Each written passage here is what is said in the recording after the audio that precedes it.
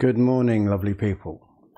I hope you're well on this um, gorgeous September day.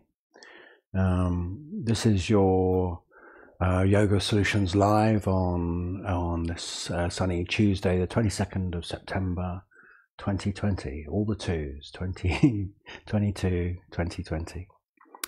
Um, yes, I hope you're having a wonderful time wherever you are. Um, yes, I'm doing well, thank you.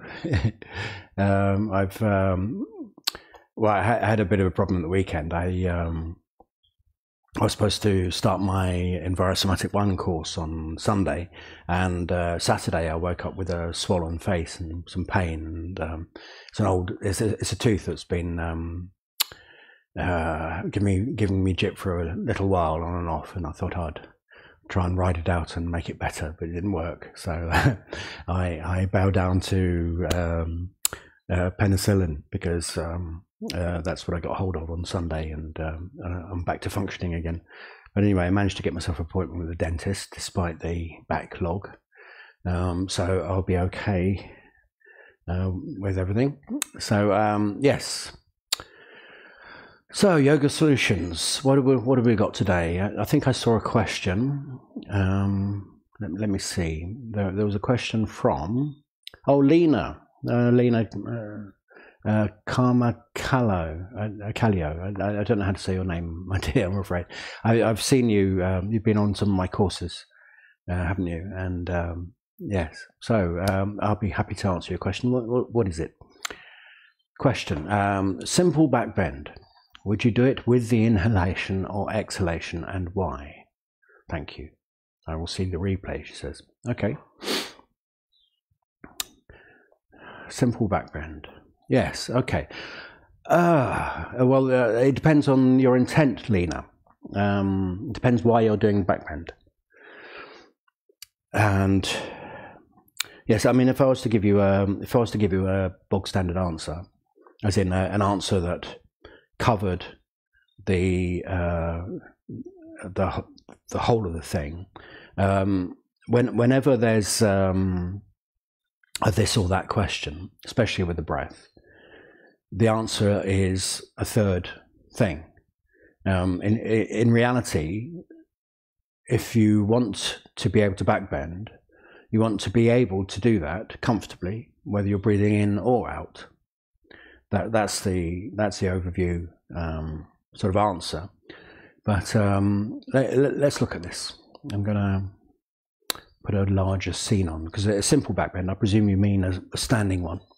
So uh, apologies for taps off, but um, the sun's out. I'm warm. I'm going to make the most of it. It might be the last day I get a chance to do so.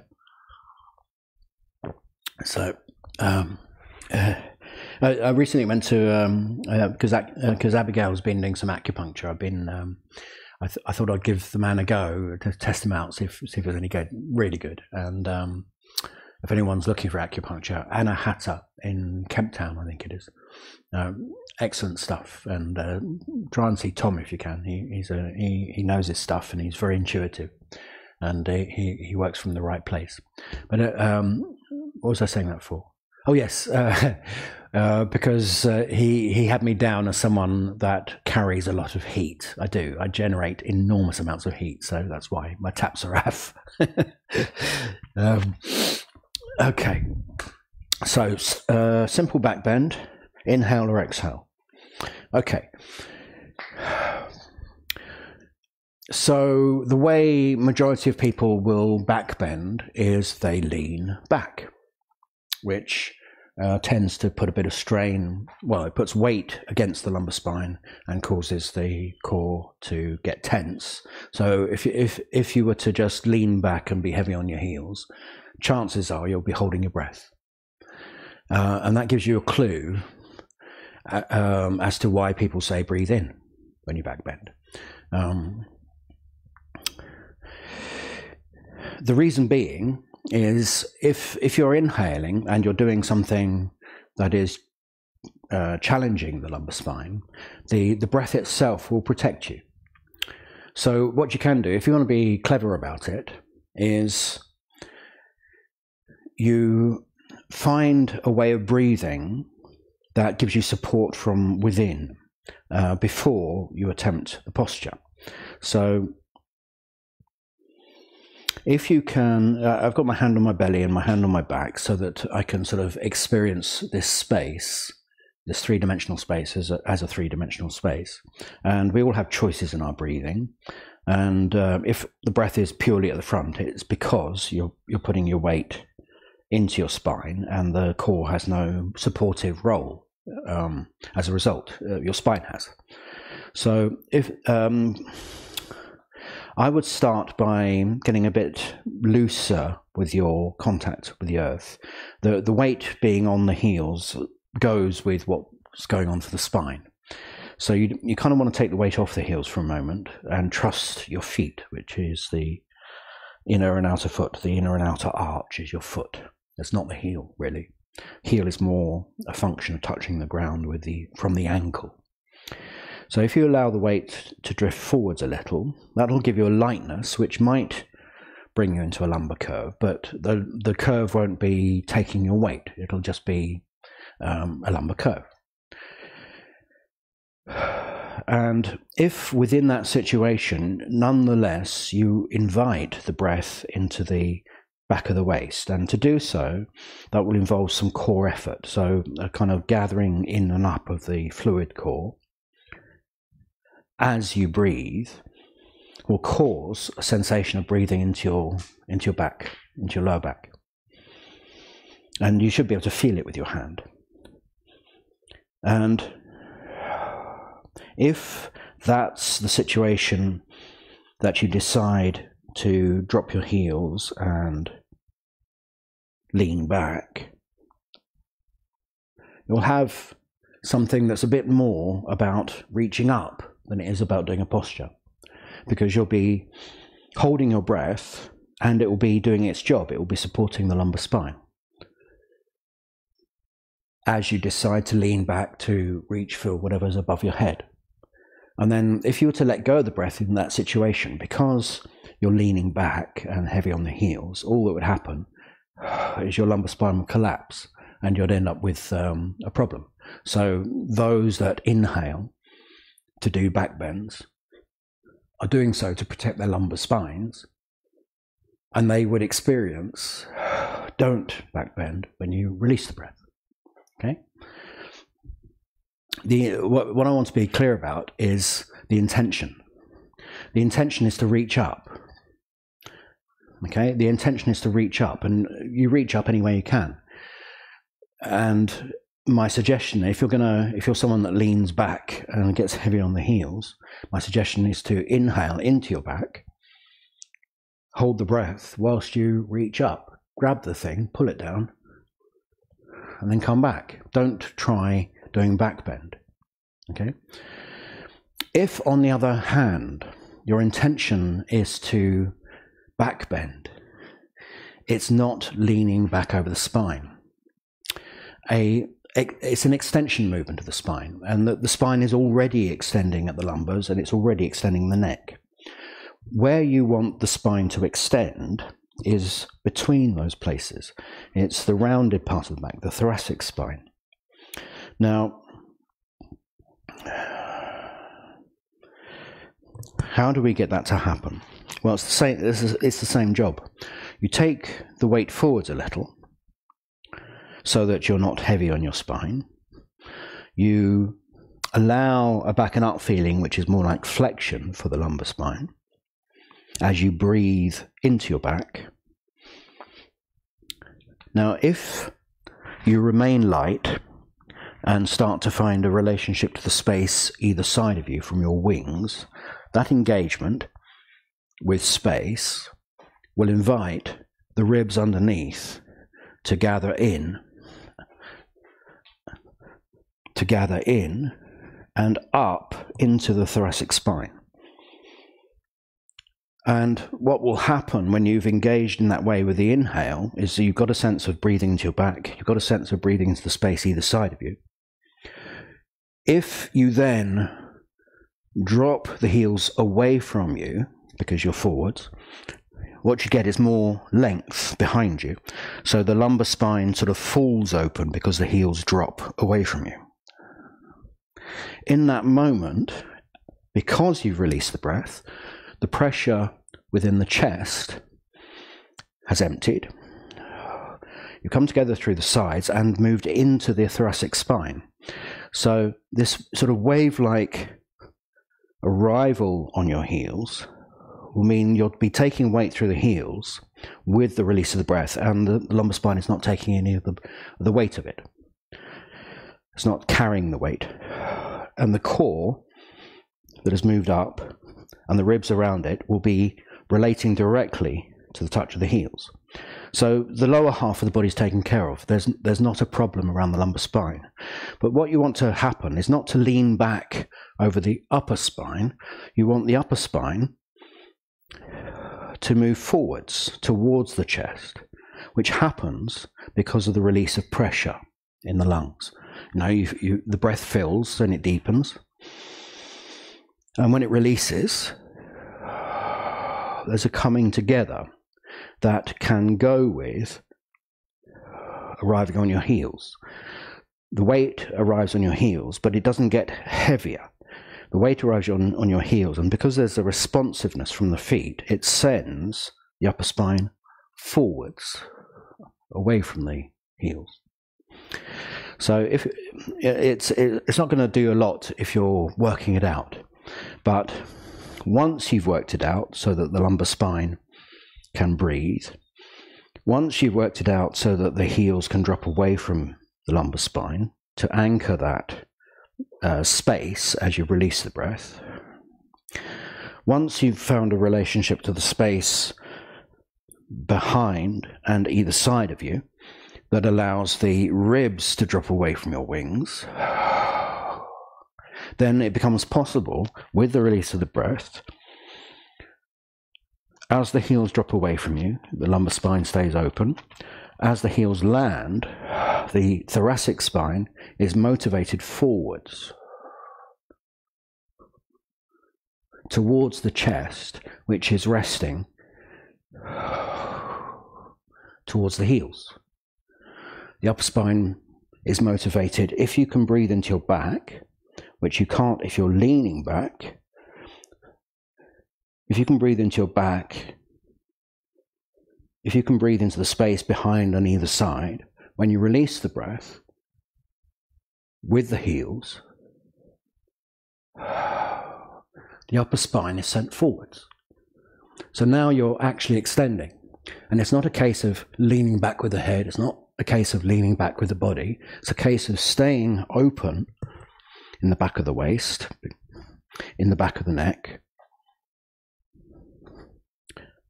because the heels fall away from you. And then you get the opportunity to release the breath in a way into your heels that sends spine between those things forwards. And it mustn't be the throat that carries your weight. If it is, that will lift your chest. And your chest needs to rest into the touch of the heels.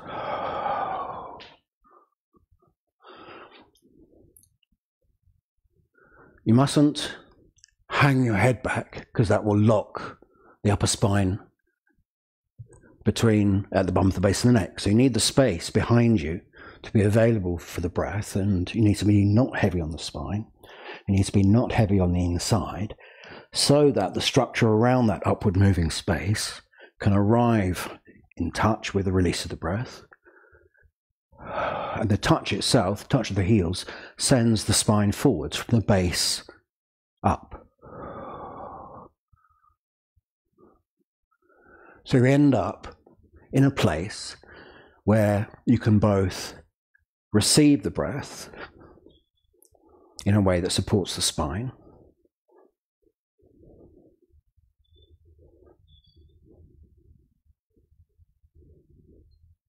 Lumbar spine and neck. And you can release the breath into contact in a way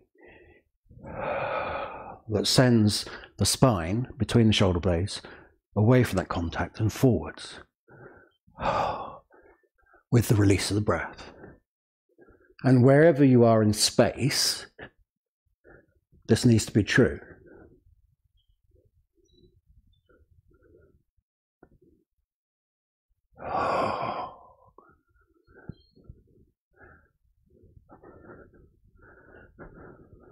So the, the, the answer, Lena, the more complete answer is you need both. You need to, um, if you're doing a back bend in order to extend, then you need to understand what extending the spine means. It's, it's not bending the lumbars and neck more.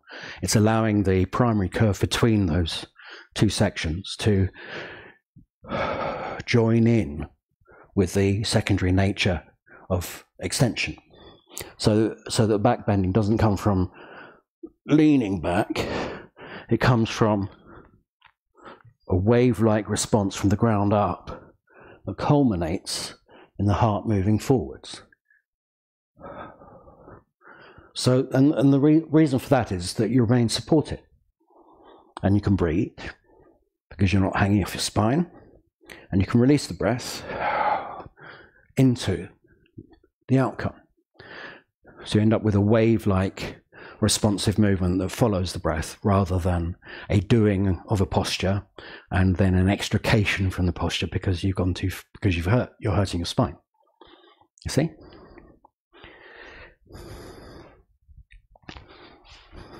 Um, actually, I'm gonna. Um, I'd like to do that in forward bend as well because um, all of my stuff it's um, about relationships to yourself through your relationships to your contact and the space around you. So it makes no difference what you're doing. Those conditions are the same uh, in forward bend, uh, except uh, you know the tendency of doing back bend is to lean backwards. The tendency of doing forward bend is to hang forwards, which gives you just as many problems uh, for your upper back, for your base of the spine, all sorts of things. So you set up the same conditions. Um, you don't want, let's see, when you're forward bending, the tendency is to, I don't want to do it, it will be painful.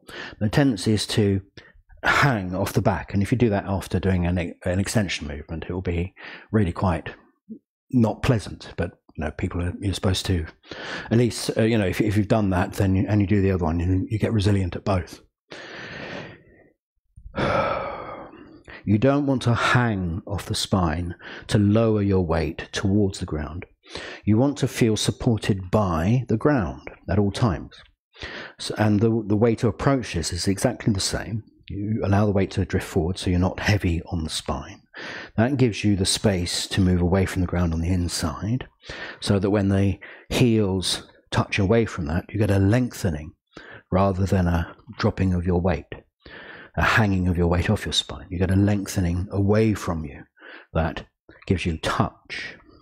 Then, when the touch is in place, the spine, which is the sacrum in this particular case, that's the place that is in, in danger of being pulled upon.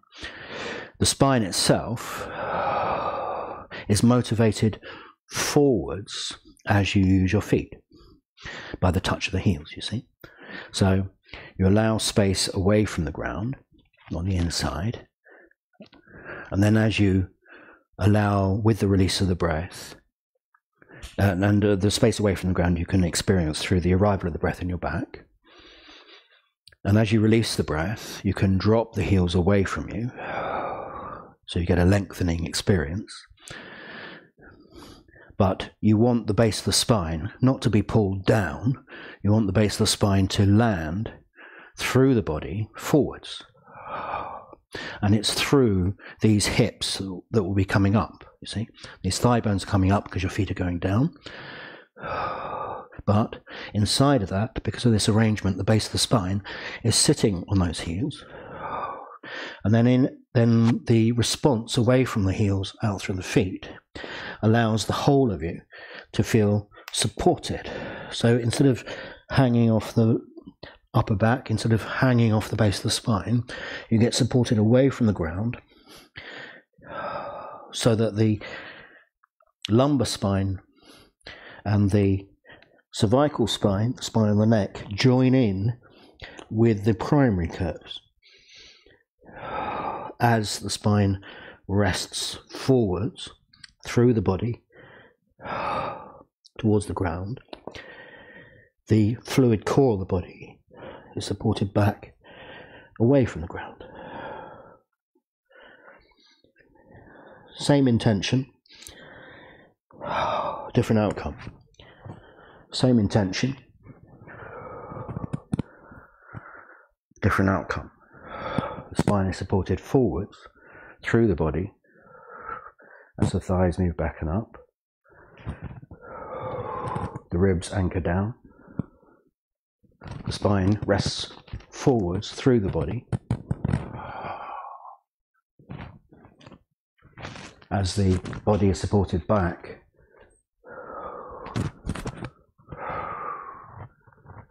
Against the inside of the secondary curve. The primary curves are supported forwards through the body, as the secondary curves are supported from within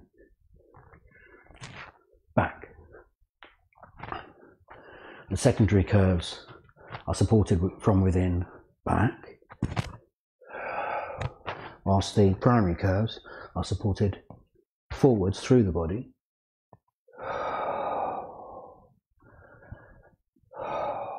Forwards through the body, and the secondary curves are supported back from within, away from the touch. So you end up with a wave like relationship to contact, where the contact, even though it's wavering between front and back. It's a responsive contact that supports you directly with the release of the breath, with the arrival of the breath.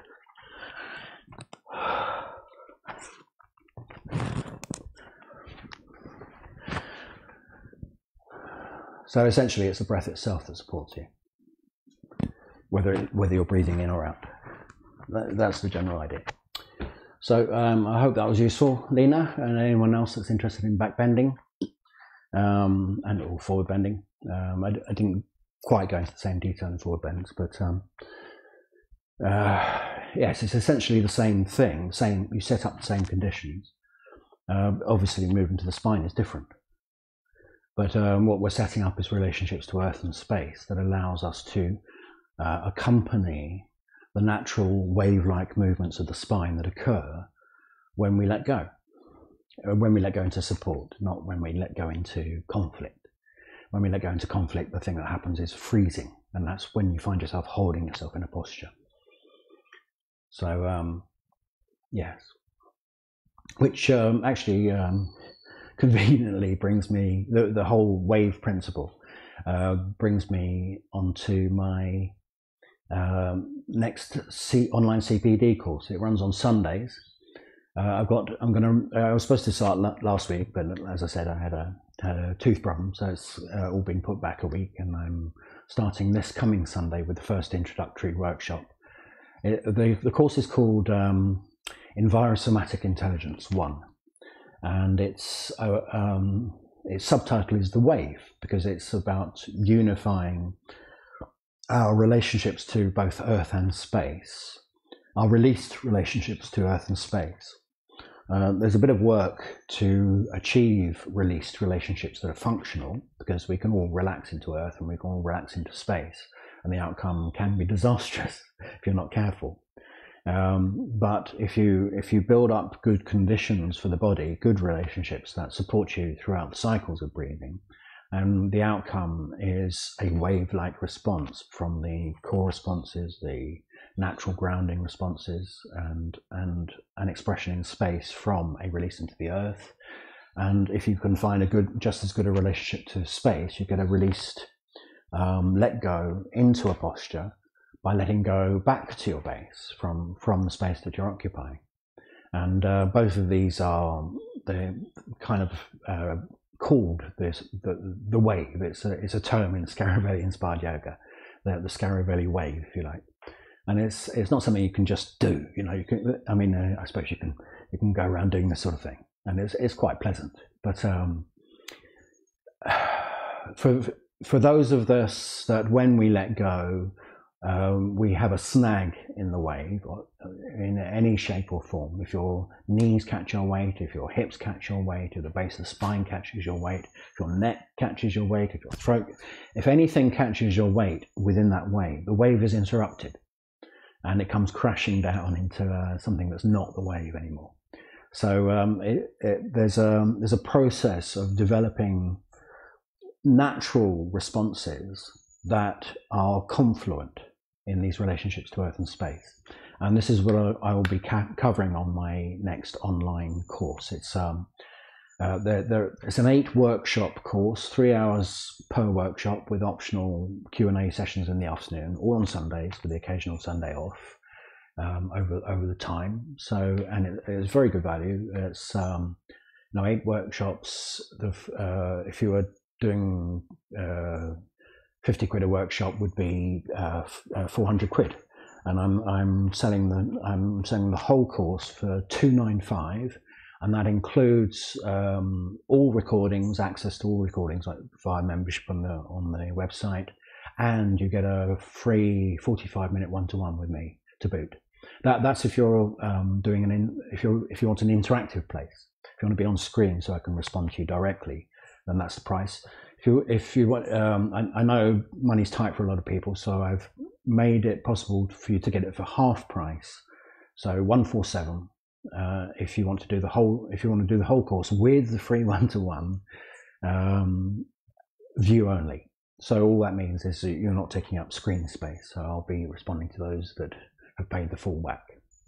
Um, you can also drop in. So if you're not sure, um, you can drop in for next Sunday's workshop or the one after. They're both introductory ones. Um, I'll see how it goes. I may leave it open for drop in throughout the course. And if that's the case, if you if you do if you attend, I think five or six workshops, you've paid for the course anyway. So I'll give you the full uh, benefits of being a course member. Um, but um, you can you can try before you you know you can try before you buy in some to some degree. You have to book the workshop. It's uh, fifty five pounds a day. I've I've done it because um, so, uh, it's high end stuff and it's about unifying our release relationships to Earth and space. It's a big deal. It was transformative, and it's the foundation of my envirosomatic approach to things that ultimately leads to solutions for whatever uh, body issue that you are interested in for yourself or your students. So um, there you go. That's that's my promo. Um, there, there's also a Saturday morning workshop, and you might get a little uh, th- this weekend coming. Um, that that's cheap. You can book that for I think it's a two and a half hour workshop, um, and again you can get it half price if you do view only. And because I'll be working towards the theme for Sunday, you might get a little taste of what, what's to come.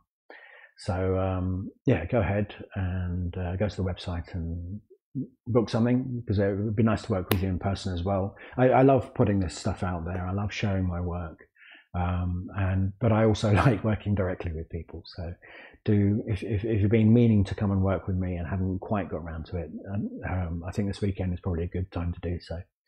So there you go. And other than that, is my weekly classes. Uh, Monday evenings, it's intermediate. I go deep with my students there. A little bit of familiarity with my work is useful for that. Uh, Tuesdays and Wednesdays, I have late morning work um, classes um, for, for, for anyone, and I, I, sort of, if if I've got advanced people there, I'll do advanced stuff. If I've got beginners there, I'll start at the beginning, and the advanced people love it. So um, that's it. Uh, I look forward to seeing you soon. Uh, this is me, Marc J. Acquaviva, signing off.